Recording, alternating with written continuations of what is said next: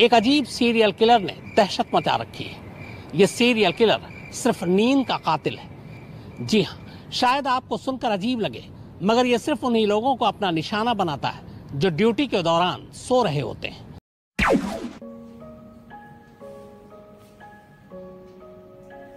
सोनू माझी night shift आहे तर मीच चालली आहे तर तू तुझी काळजी घेशील, ओके?